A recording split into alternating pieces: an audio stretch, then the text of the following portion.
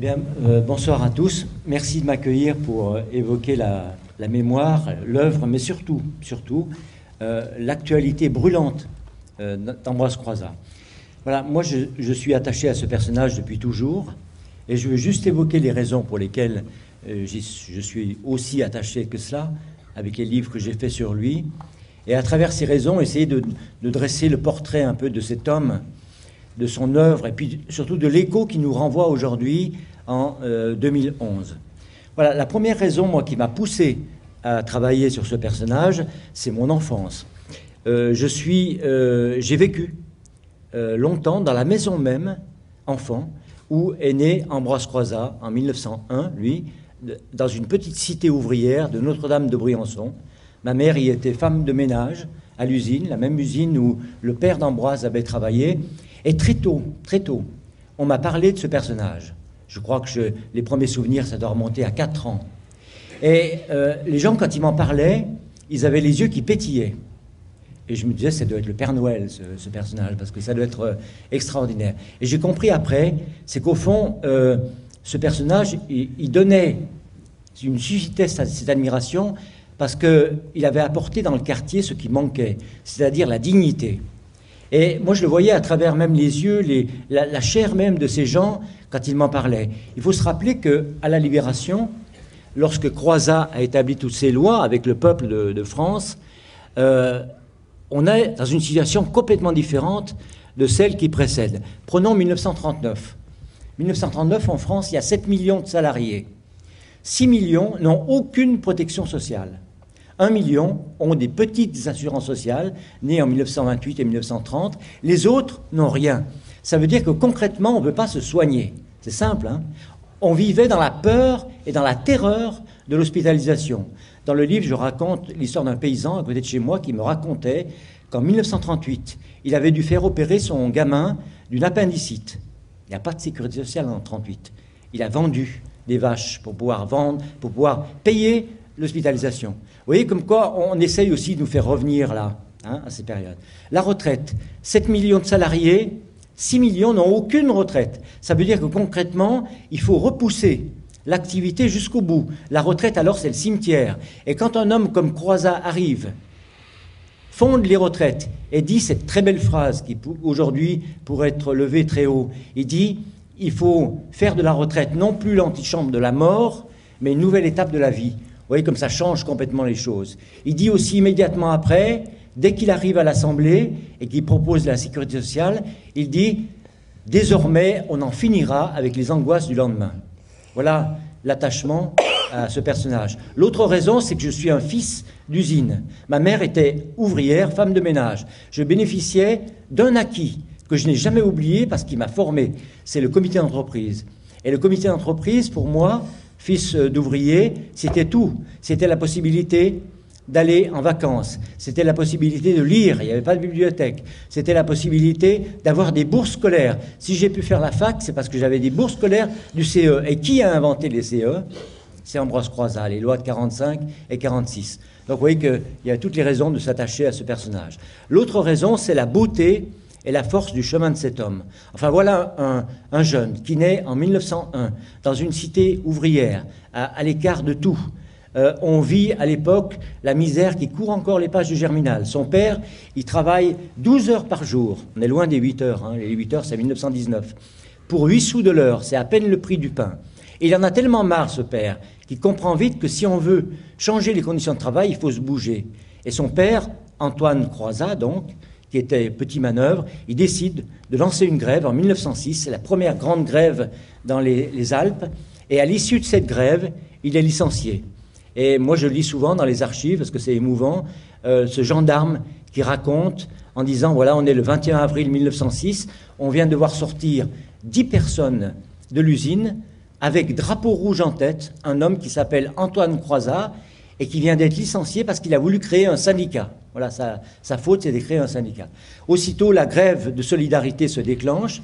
Toutes les usines autour font grève pour sauver euh, le syndicat et sauver Croizat, et le patron est obligé de plier. Et dix jours après, on voit le patron, qui est obligé de venir de Genève, c'est le grand patron des industries chimiques, accepter la création du syndicat, accepter les premiers congés payés, il n'y en avait pas à l'époque, il faudra 30, 36, mais on dit à Antoine Croizat d'aller voir ailleurs si on y est. C'est-à-dire on veut bien accepter tout ça, mais lui on ne le veut plus.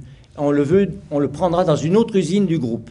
L'autre usine du groupe, c'est Ugine. Donc il part à Ugine. Il est à peine arrivé à Ugine, dix jours. Il lance une nouvelle grève. Il est aussitôt accompagné le soir même à la, à gare en lui disant d'aller espérer ailleurs. Alors on, on, les retrouve en 1914 dans la région lyonnaise. Ambroise, cette fois-ci, a 13 ans. Le père part à la guerre, il va aller vers Verdun et tout ça. Le fils est obligé de travailler et Ambroise Croizat, en 1914, il s'embauche comme aide ajusteur outilleur. Voilà son métier, aide, aide ajusteur outilleur. Et le lendemain de cette euh, embauche, il adhère à la CGT, une manif contre la guerre, et il fait partie de ces gens qui vont s'engager à partir du refus de la guerre. Je pense à Marcel Paul, mais je pense aussi à, au père de Guy Moquet, Prosper Moquet. Tous ces gens-là, ils démarrent leur engagement politique contre la guerre. Ils en ont marre de cette guerre qui est suscitée par le, capitalisme. Et puis on voit ce jeune croisat monter euh, dans l'échelle syndicale. En 1918, il est déjà un jeune militant régional, responsable de la région euh, Rhône-Alpes euh, chez nous. En 1920, il est au Congrès de Tours, il fait le pas, il devient un jeune communiste. Et avec d'autres, Marcel Paul, euh, euh, je pense aussi à Prosper Moquet, parce qu'ils étaient toujours ensemble, ils se retrouvent jeunes communistes. Qu'est-ce que c'est que des jeunes communistes à l'époque? C'est des jeunes qui se battent sur deux thèmes. Un, l'antimilitarisme, l'autre, l'anticolonialisme. On voit sans arrêt Croizat au Havre, à Marseille, dans les ports, pour susciter les soldats à la désertion, en leur disant n'allez pas vers la guerre du Rif ou vers la guerre de Syrie. Ce n'est pas votre travail, ça. Hein. vous, allez assassiner des frères. Et puis donc ce, jeune croisat, bah, il monte et en 1927, il est secrétaire de la fédération CGTU des métaux. Et contrairement à ce qu'on pourrait penser, il est un haut secrétaire, hein, le, le premier secrétaire, il ne reste pas dans son bureau, il est constamment sur la route, et ça pendant deux à trois ans, des années 27 aux années 31, avec une valise de VO à la main, et il va de, lieu en lieu, de grève en grève, porter la, parole à Marseille, il est à Tourcoing, on le retrouve à Bordeaux, il est à Strasbourg, il est partout où ça bouge, partout où ça manifeste, notamment pour la fin. Vous savez, c'est la grande crise à l'époque, il y a des marches euh, pour, la, pour la fin, marche des chômeurs, il anime tout ça. Et euh, au cours de ce chemin de grève, qu'il fait constamment, toujours avec Marcel Paul et Prosper Moquet. Il comprend que la seule façon d'arrêter ce qui est en train de monter du côté de l'Allemagne, le fascisme, en France, avec les croix de feu, les camelots du roi, c'est d'unir la classe ouvrière. Et là, alors, il va faire un travail d'unité extraordinaire, 34, 35, 36, pour unir les deux CGT, CGTU et CGT euh, maintenus, pour euh, euh, faire que la classe ouvrière soit forte. Et c'est cette force-là qui fait que le 3 mai 36, le Front populaire arrive au pouvoir. Ambroise Croizat est présenté député dans le 14e arrondissement, circonscription de Plaisance. Il est élu. Il est donc à Matignon. Là, au Palais Bourbon, là, il commence à énumérer toutes les réformes qu'ils avaient envisagées. Dans la rue, il y a 3 à 4 millions de personnes qui sont là, en veille, en disant maintenant la gauche est au pouvoir, il faut réaliser ça.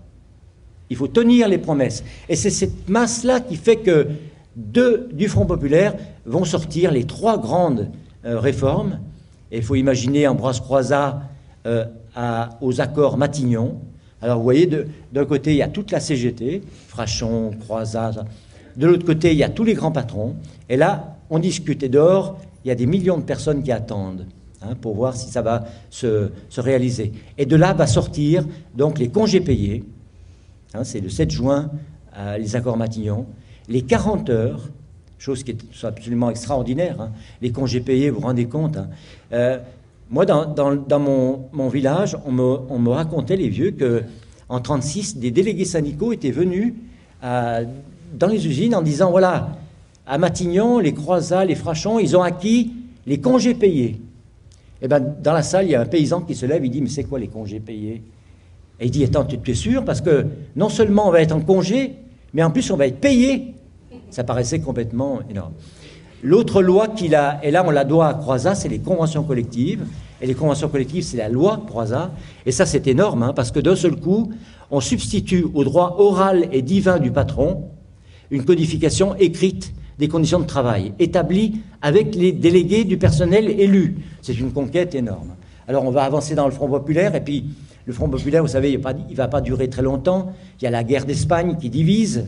Les tenants du Front populaire, il y a la guerre qui monte, et très vite, on va arriver vers cette terrible année 1938, surtout le 30 novembre 1938, et si dans la salle il y a des anciens, peut-être qu'ils se rappellent de ce jeudi noir où euh, la CGT appelle à la grève contre des décrets misères de Daladier qui voulait supprimer tous les acquis de mai 36, prétextant la nécessité de, réarmer pour euh, lutter contre la guerre qui arrivait, contre les Allemands. Et euh, on a cette, loi, cette phrase terrible hein, de Daladier qu'on pourrait entendre encore aujourd'hui. Il dit il faut supprimer la loi de 40 heures parce que c'est une loi de paresse et de trahison nationale. Voilà, Daladier, qui était un des tenants du Front populaire. Et hein. eh ben, le lendemain de la grève, tous les, militants qui ont fait grève sont licenciés. C'est un, licenciement massif le 1er décembre 38. Et puis il va arriver cette terrible année 39, euh, vous vous rappelez, le pacte germano-soviétique en, 1900, euh, août 1939, qui provoque l'arrestation des députés communistes. 36 ils sont, dont euh. Croizat se fait arrêter sur le parvis de l'Assemblée nationale alors qu'il sort de l'Assemblée nationale, on le prend, on l'amène en prison, comme un droit commun, à la santé. Puis euh, là, on l'interroge, on imagine qu'on le bat avec les autres. Il est là avec d'autres euh, députés, Virgile Barrel, Prosper Moquet. Et euh, il va traverser, ce Ambroise, 14 prisons en France. Ce sont des élus, hein, avec les droits communs, les boulets aux pieds. 14 prisons en France avant d'être déporté au bagne d'Alger. C'est l'antichambre du bagne de Cayenne. Et là, il va vivre deux ans entre le sirocco, la dysenterie, les coups, les boulets aux pieds, il faut le rappeler ça. Hein. Et en 43, il faudra attendre 43 pour qu'il soit libéré. Vous savez, il y a eu le débarquement anglo-américain. Ambroise Croizat donc est libéré en mai 43, en février 43, et là il va rejoindre la commission consultative qui s'est installée autour du général de Gaulle, le futur gouvernement provisoire. Il va être président de la commission du travail, délégué par la CGT clandestine. Et là, il va mûrir toutes les grandes réformes euh, qui auront lieu à la libération, en lien direct avec le CNR en France. 43, c'est la naissance du CNR en France. 27 mai 43, Jean Moulin, 18 jeunes qui n'ont pas 20 ans, qui décident de lutter, d'unir toutes les forces de la résistance et de publier un programme qui nous fait rêver encore aujourd'hui, d'où vont sortir la Sécu, les retraites, les nationalisations. Hein, alors que dehors, on déporte, on fusille. Croizat revient en France avec le général de Gaulle. En 1945, c'est les élections. Il est nommé ministre de la Sécurité sociale, du Travail. Hein. Et là, il nous donne un héritage social que je mettrai du temps à énumérer ce soir. Mais comme je vais y revenir, je vais le dire rapidement. La Sécu, c'est énorme. Hein. Les retraites, les comités d'entreprise, c'est lui. La médecine du travail, le statut des mineurs, le statut des électriciens gaziers, la prévention dans l'entreprise, la reconnaissance des maladies professionnelles, euh, toutes les lois sur les heures supplémentaires, la caisse d'intempéries euh, du, bâtiment, la réfection du code du travail, le retravail de la fonction publique avec Thorez à l'époque. Un, travail considérable, et ça c'est deux ans seulement. Hein, Troisième, l'autre raison, moi, pour laquelle je supportais plus euh, que l'on efface ainsi le, enfin, je supportais plus euh, que, l'on parle ainsi de Croizat, c'est que, regardez, hein, tout à l'heure, euh, le maire l'évoquait, ouvrez un dictionnaire. Aujourd'hui, il y est, parce qu'on s'est battu depuis 12 ans. Mais avant, on ouvrait un dictionnaire, on allait chercher Croizat. On se disait forcément, il y est, le, celui qui a créé tout ça. Hein. D'abord, on peut trouver Rick Azaray, Johnny Hallyday, Et Croizat, rien. Si, il y a un nom. Croizat, alors moi je me dis c'est lui. Eh ben non, c'est une chanteuse d'opéra. Voilà. Un peu plus loin, il y a Croisy, lieutenant de Louis XIV. Cherchez Marcel Paul, aujourd'hui encore. Vous trouverez un apôtre et trois papes. Marcel Paul, créateur d'une des plus grandes entreprises euh, européenne du statut d'électricien gazier, il n'y est pas, hein, pas. Donc ça, c'était insupportable. D'autant plus que lorsqu'il y a eu, rappelez-vous, l'anniversaire de la, naissance de la, sécurité sociale, hein, en 95, je me suis dit, ils vont en parler de, Croizat quand même. Ils ont évoqué le nom du ministre du Travail de l'époque en disant que c'était Larocque ou De Gaulle qui avait créé. Il faut juste revenir pour comment ça s'est passé, cette sécu. Tout vient donc du programme du CNR. Et le programme du CNR, c'est assez fabuleux. Hein. L'article 14, il dit ceci. Nous, combattants de l'ombre, réclamons un véritable plan de sécurité sociale permettant à tous les citoyens de pouvoir se le procurer par le travail des moyens d'existence, pour tous ceux qui ne peuvent pas se le procurer par le travail. Ça, avec gestion des intéressés et de l'État. Voilà la définition de la Sécu. Eh bien, Croizat va être le maître d'œuvre de la mise en place de cette ordonnance qui va avoir lieu en octobre 45. Et quand il est au ministère, c'est lui qui va être le maître d'œuvre du bâti de la Sécu. 138 caisses. Il faut créer 138 caisses en France. Qui les crée? Essentiellement des ouvriers. Que des ouvriers. On pourrait presque dire essentiellement des CGT. Hein. Et comment ils font? Eh bien, ils bâtissent les caisses de Sécu sur leur temps de congé ou après leur travail, bénévolement, dans un enthousiasme indescriptible, parce que enfin, on avait le droit de se soigner, on avait le droit d'espérer. Et comment se crée cette Sécu? Ben, Elle se crée sur quatre grands principes qui aujourd'hui sont de plus en plus détruits. Hein. Le premier, c'est l'unicité. On décide que tous les risques sociaux, qu'on appelle à l'époque, seront dans une même caisse en proximité des gens. L'universalité, on décide que tout le monde sera soigné. Certains ne veulent pas, je pense aux commerçants, aux artisans, ils vont le, regretter. Tout le monde sera soigné de la naissance au décès. Troisième chose qui fait peut-être l'exception française, tout ça sera bâti sur la solidarité, un système de répartition, malades, bien portants, actifs, non actifs, et surtout l'ensemble de cette sécu financée par les richesses créées dans l'entreprise.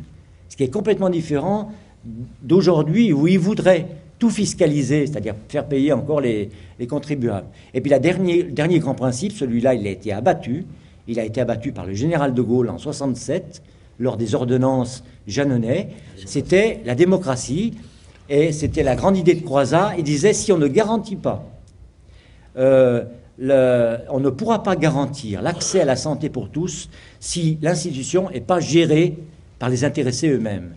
C'est là qu'il propose les élections de 47. Elles seront supprimées après, en 67, avec De Gaulle, qui rétablira, rappelez-vous, le paritarisme, alors que les caisses auparavant, c'était deux tiers d'ouvriers, un tiers de salariés. En 67, c'est 50-50. Il suffit d'un syndicat minoritaire pour que tout, euh, bascule avec les, patrons. Et tout ça, c'est possible, que ce soit la Sécu, les nationalisations d'EDF, de, de, de Paul, euh, toutes les grandes réformes de la libération, parce qu'il y a un rapport de force qui fait que c'est possible. C'est quoi ce rapport de force? 29% des voix au Parti communiste, 172 députés, 5 millions d'adhérents à la CGT, une classe ouvrière grandie par la résistance, un patronat mouillé par la collaboration. Vous voyez, tout ça, ça permet. Eh bien, malgré ça, euh, Croizat le raconte souvent, il a fallu se battre comme des chiens pour imposer la Sécu. Les médecins n'en veulent pas, fixation des tarifs. Les mutualistes rechignent. La droite n'en veut pas. Les assurances privées n'en veulent pas. C'est une vraie bataille pour imposer malgré le rapport de force. enfin, dernière raison, moi, qui m'a poussé vers ce personnage, c'est la modernité de cet homme. Enfin, moi, quand je regarde euh, ces hommes de la libération, dans un pays ruiné, la France, c'est 60% en ruine. Il n'y a plus d'argent. Ils décident en premier de soigner les gens. Hein, ils mettent l'homme au centre du projet politique, de leur volonté politique. Aujourd'hui, on est la cinquième puissance du monde. Il y a 30% des Français qui n'arrivent pas à soigner. Là, il y a vraiment quelque chose qui ne va pas. On voit bien que c'est qu'une question de volonté, de choix. Ce n'est pas les actionnaires qu'on veut sauver là. C'est vraiment les gens, en leur offrant la possibilité de se soigner. Autre chose, cet homme, il a passé sa vie à se combattre sur deux thèmes l'accès au droit à la santé pour tous et le repos décent. Et eh bien ça, c'est encore nos luttes euh, d'aujourd'hui. La formation professionnelle, la prévention dans l'entreprise, tout ça c'est moderne, c'est lui. Mais je pense aussi à cette grande modernité dans la proximité du terrain de cet homme. C'est vrai aussi pour Paul et d'autres. Ces gens, ils étaient constamment proches de la base. Moi, je le vois dans les tournées de ministres à la Libération. elle pourra vous le dire, Liliane, tout à l'heure, elle n'a pas vu beaucoup son père, parce que pendant deux ans, il se promenait en France dans les, entreprises, dans les municipalités, pour écouter, pour entendre, et ensuite transformer ça euh, en loi. Il disait, par exemple, on ne pourra pas avoir de politique efficace si on n'a pas l'assentiment ou l'accompagnement des gens. Enfin, c'est un, homme moderne dans la mesure où il s'est battu comme un fou pour pouvoir unir la classe ouvrière. Et ça, c'est important aujourd'hui. Hein. Enfin, il y a une autre chose, et peut-être, moi je pense que c'est la plus forte qui le, rend moderne, c'est qu'il fait partie de ces hommes de la libération qui ont su allier de pair deux politiques. La première, de satisfaction immédiate des gens. Par exemple, quand il triple le montant des allocations familiales, c'est immédiatement la possibilité pour les gens de vivre. Quand il fait la loi sur les heures supplémentaires, c'est immédiatement la possibilité d'acheter, de consommer. Et puis, allier cette politique de satisfaction des, couches laborieuses et en même temps être capable de grandes idées transformatrices de la société, comme la Sécu, par exemple, dont on vit encore aujourd'hui. Et pour terminer, vous savez, Ambroise est mort très jeune. Hein. il a eu le bagne derrière lui. Il est revenu, il pesait 36 kilos. Il a travaillé deux ans comme euh, d'arrache-pied. Il sort de, la casse ouvrière. Et en octobre 50, il est atteint de la maladie. Il, il le sait. Il sait qu'il va pas aller très loin. Et il fait son dernier discours à l'Assemblée nationale. Le dernier discours, il se termine comme ça. Jamais nous ne tolérerons que soit renié un seul des avantages de la sécurité sociale. Nous nous battrons avec la dernière énergie et en mourir pour conserver cette loi humaine et de progrès. Et donc il meurt quelque temps après. Et moi je me dis, si on avait un hommage à lui rendre, hein, c'est de faire que, on pourrait tous ensemble reprendre cette, euh, cette parole-là pour faire que la Sécu, elle ne soit pas une coquille vide livrée au privé, mais qu'elle soit vraiment ce qu'il a voulu, ce que tous les hommes de la libération ont voulu qu'elle soit, c'est-à-dire un vrai lieu de solidarité, un rempart contre la souffrance et l'exclusion. Merci. Merci, Michel.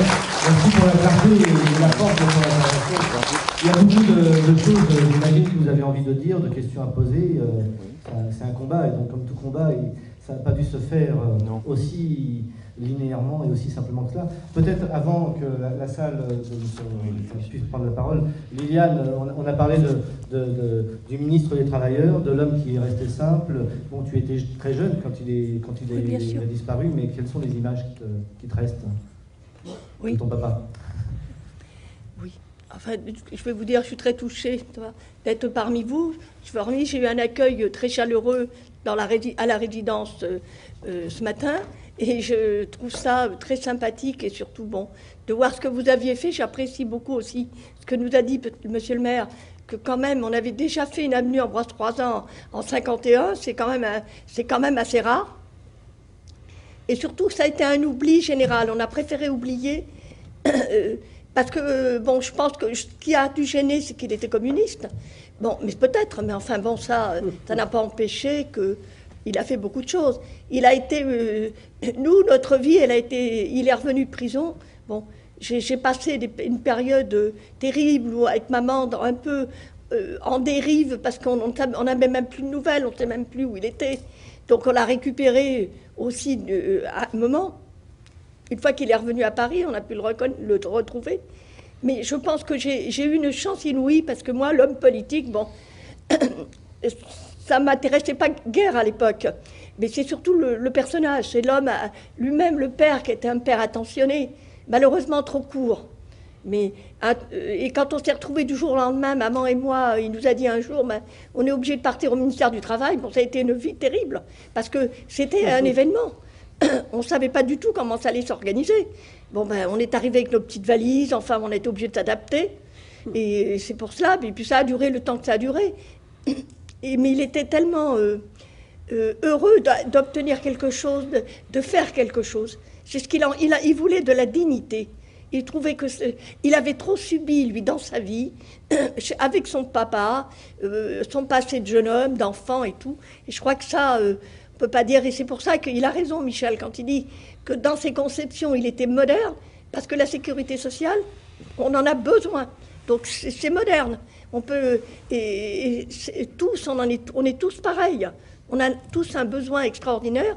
La plupart des gens, pas vous. Je sais que vous, vous êtes plus, vous savez, parce que vous seriez peut-être pas là pour, pour connaître, mais on, l'ignore qui a fait ça, on croit que c'est arrivé en au monde. Eh ben, on ne sait pas, non, ça a été vraiment un, des acquis qu'on a obtenus, mais avec beaucoup de, extraordinairement beaucoup de, il fallait vouloir quelque chose.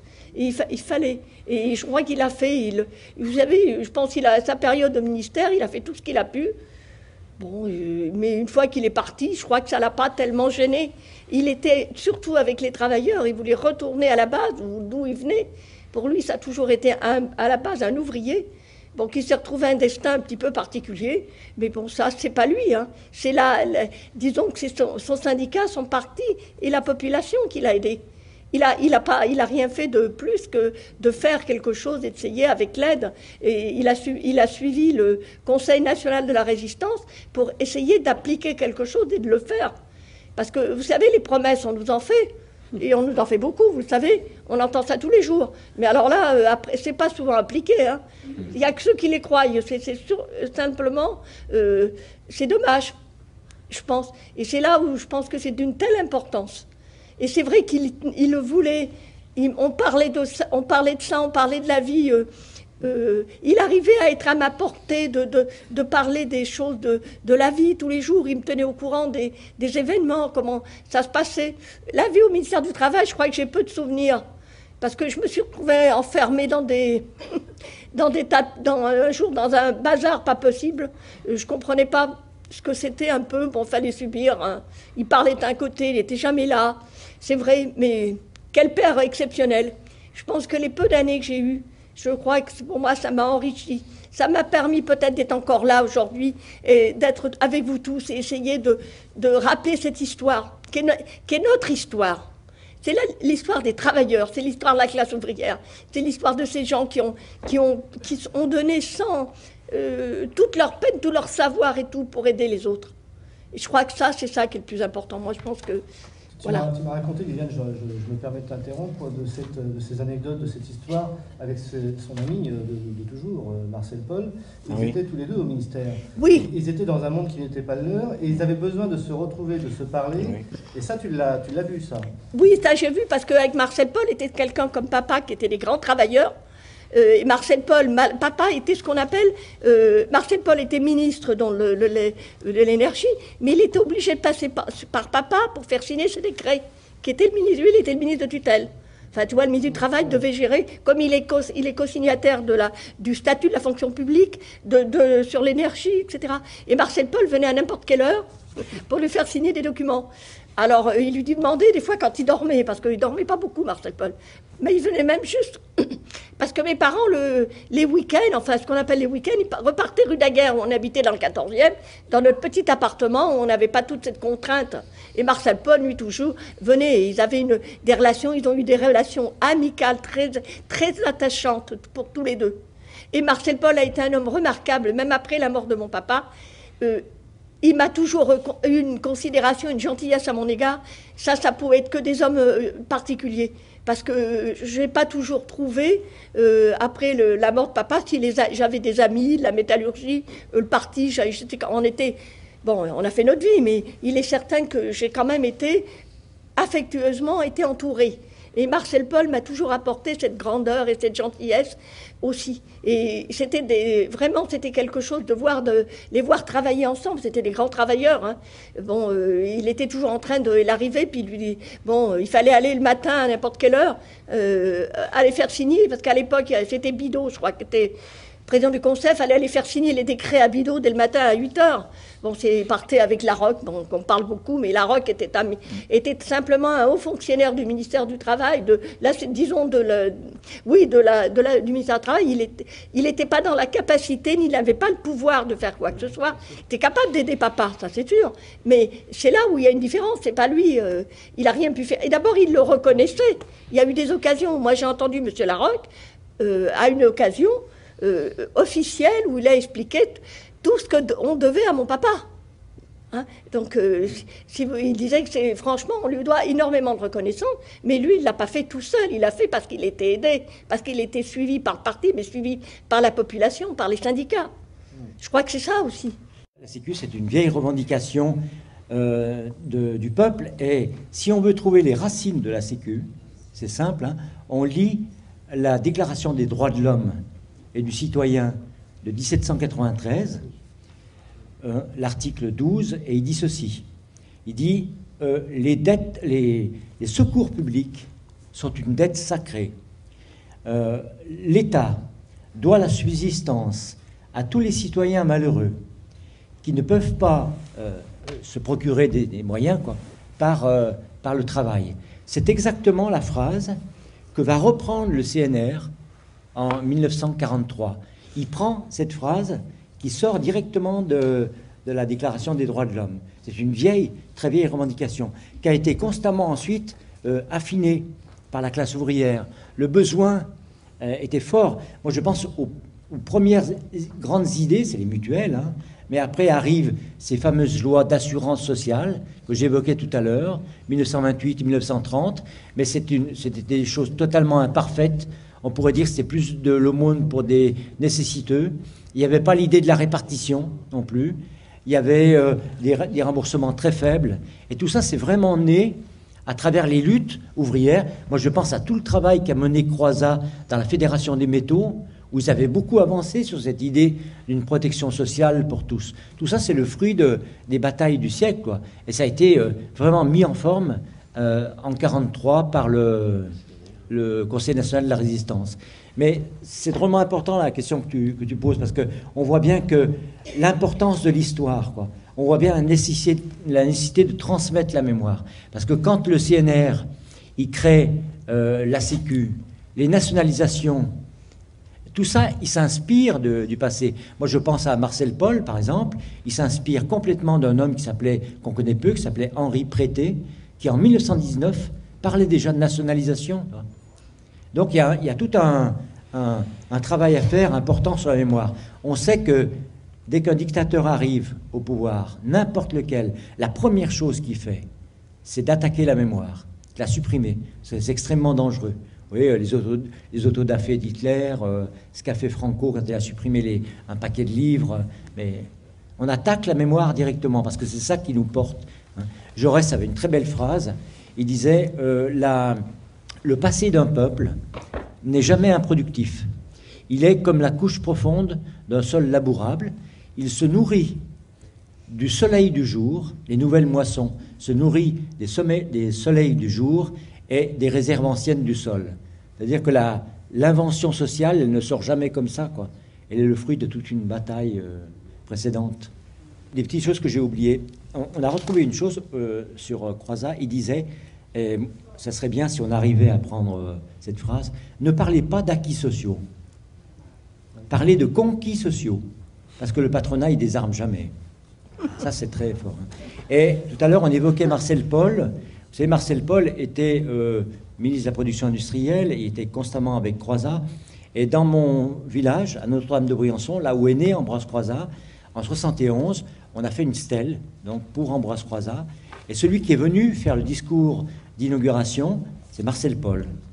Et en, en, fin de discours, il se tourne vers le ministre du Travail qui avait été invité de l'époque. C'était Joseph Fontanet. Et il dit à Joseph Fontanet, voilà, la France a eu beaucoup de ministres du Travail, mais elle n'a eu qu'un seul ministre des Travailleurs. C'est assez fort.